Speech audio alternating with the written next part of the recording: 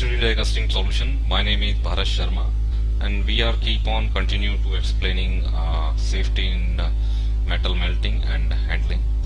So now in this series we are uh, talking about today is molten metal handling and transport.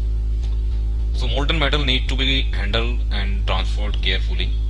The melting often takes place in centralized location and uh, good heat transfer is necessary to achieve optimal product productivity.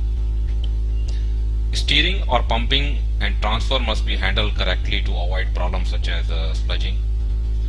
And uh, of course, after completing this video, you are able to state the two forced conventional uh, melting methods.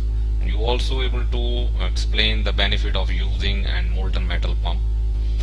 You also explain why it is necessary to transfer metal properly. And this information uh, you can use uh, to provide specific uh, information on handling molten metal. You can use this information to ensure you are following the best melting practices thereby reducing metal loss and cost.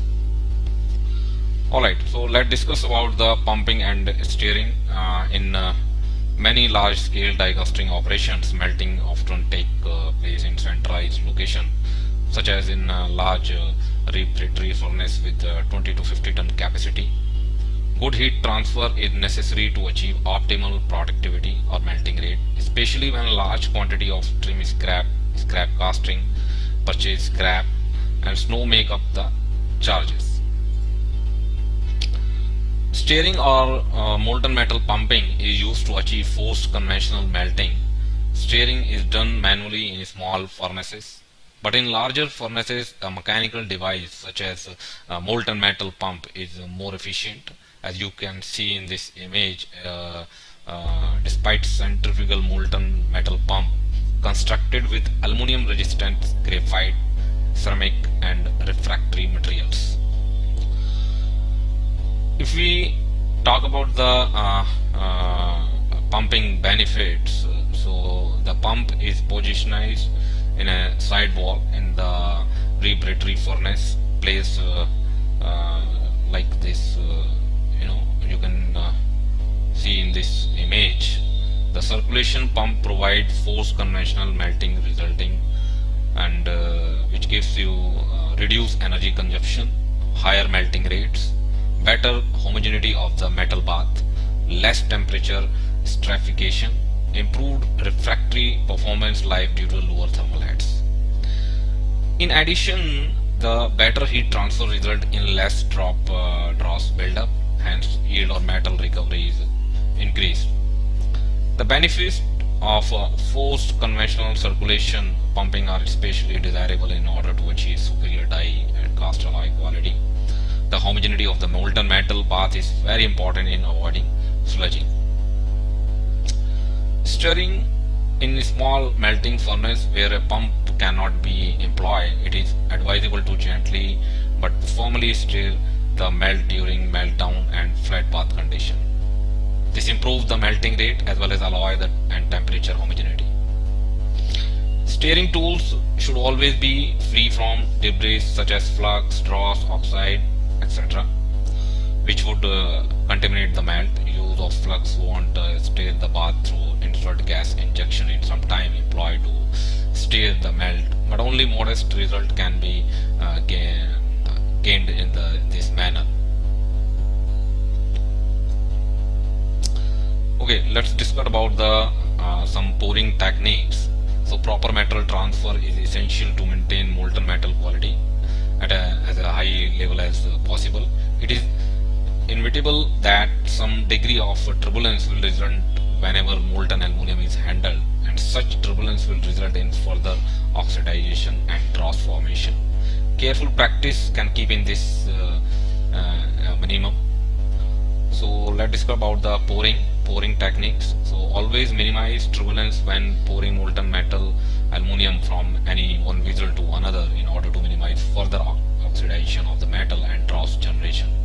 This includes furnace to ladle, ladle to holding furnace or uh, from the holding uh, you know casting furnace to the shot sleeve. Always skim any dross from the metal surface prior to pouring and afterward as well the pouring operation should be accomplished with a smooth uh, flow of metal as possible minimizing pouring height and without creating a splash into the receiving vessel dross formation during pouring while inevitable must be minimized. Here we have some metal transfer techniques. So first of all we uh, know about the transfer transferring metal. There are many methods for transferring metal from the central melting area to the die casting machine holding furnace. There are also many systems available to transfer metal from the holding pot into the uh, shot sleeve. The transfer of metal with a minimum amount of turbulence to keep oxidation and metal loss as small as possible. Is important is most important you can say the pressurized system for transferring metal from large furnace to uh, delivery ladle are desired. The advantage of a pressurized system is that there are no moving part. If nitrogen is used to pressurize the chamber oxidation is minimizing and maintenance reduced.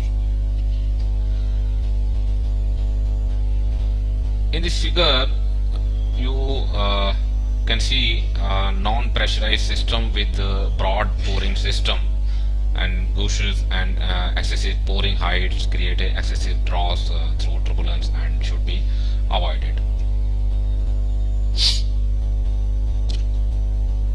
In next figure uh, we have an example of a centrifugal pump used to transfer metal from a large furnace to a larger ladle or directly to casting unit. Such pump may be uh, sized to achieve transfer rate from uh, um, 500 pound per minute to uh, 10,000 pound per minute. The new state of the uh, at the transfer pump have a very low maintenance cost compared to older design. So we have uh, another uh, refractory line pipe example uh, the refractory line pipe used to transport liquid metal from one furnace to another this can be over a distance of uh, several feet or up to over a uh, SLS. The pipe is lined with a non-wetting material. Alright, so we have uh, another over-the-road crucible and uh, the liquid metal being transferred to large reverberatory furnace from a refractory line over the road crucible. The crucible size may vary from uh, 15,000 pound to 30,000 pound. If large quantity of the metal are required, this is an economical way of purchasing metal. A liquid metal is delivered to chemical specification at the temperature desired. This method saves inventory cost, melting cost, minimizing melt loss and increase furnace life. Molten metal delivers are transferred into holding furnace that are then tapped for lateral transfer or by direct launder transfer to the die casting holding furnace. Here we have auto ladling system example uh, in a auto ladling system used to transfer metal from holding unit to the shot sleeve. Note the clean out lid during the operation of this type of unit some oxide develop on the surface due to the up and down motion during transferring and refilling.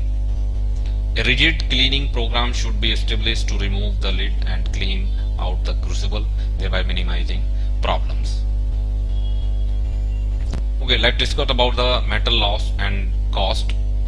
And tests have show that untreated dross may contain up to 80% aluminum, and this is true because we have uh, uh, already upload uh, the dross recovery video in two parts. So you can also watch that uh, these videos.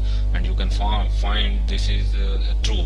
Uh, you can say up to 85% uh, aluminum untreated in dross if you are not treated well your dross so you are losing your aluminum.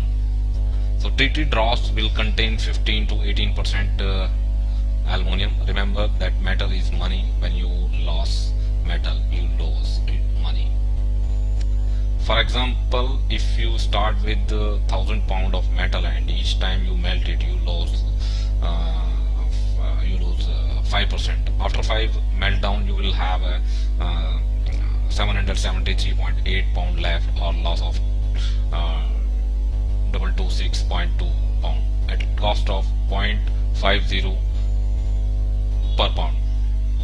This is equal loss of around uh, $113 and you may not have produced good casting.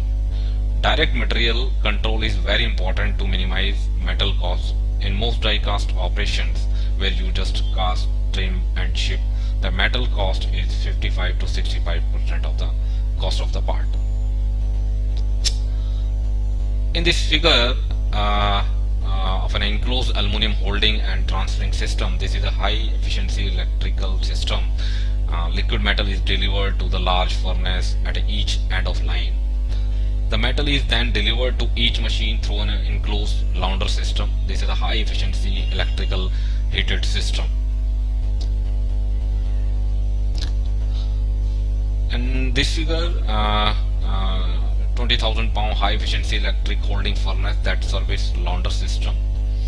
And uh, this another image we have uh, uh, the launder system. High efficiency electric holder work very well and can reduce metal holding cost substantially providing the manufacturer recommendation for maintenance and uh, care are followed. This is extremely important. Good sealing is required otherwise corundum you can say Al2O3 will uh, grow overnight. In a few days it can become large enough to destroy the heating element and eventually the lining.